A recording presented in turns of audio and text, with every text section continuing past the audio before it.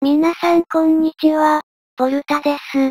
今回は、このしわくちゃな T シャツにアイロンを、と言いたいところですが、このチーム T シャツ、とてもかっこよくて、みんな着ているけど、T シャツなので着れる季節が限られちゃうんだよね。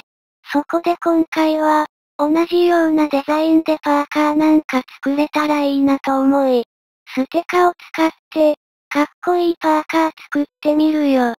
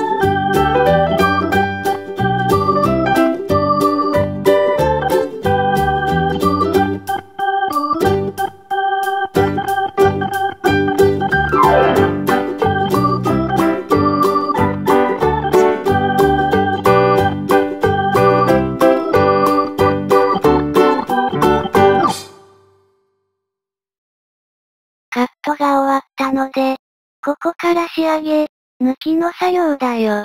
正直、不器用な自分は一番、めんどくさいところだよ。でもここで、手を抜くと、仕上がりが悪くなるから、時間をかけて綺麗に抜いていくよ。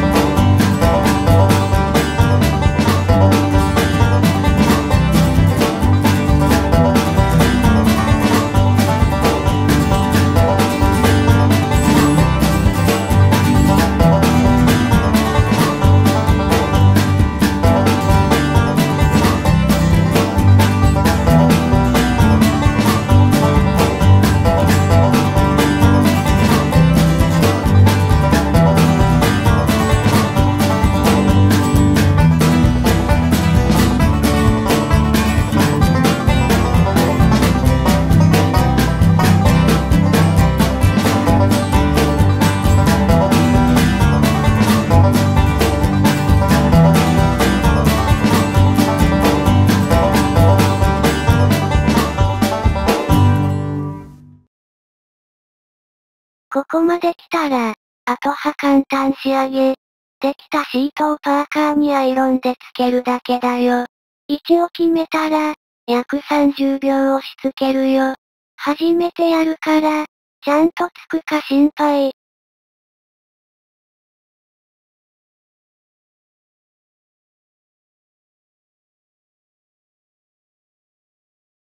なんか、不安だから、何回も押し付けちゃう。わら。ここまで来て、貼り付けでミスったら、笑えないからね。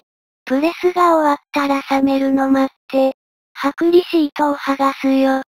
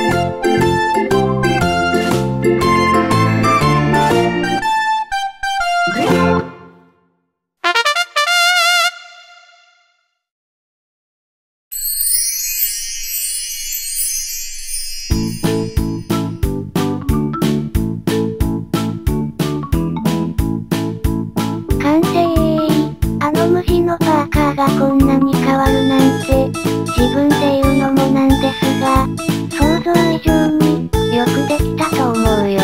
自分の思い通りのデザインが、形にできちゃうなんて、また機会があれば、他にも作ってみるよ。それでは今回はこの辺で、ありがとうございました。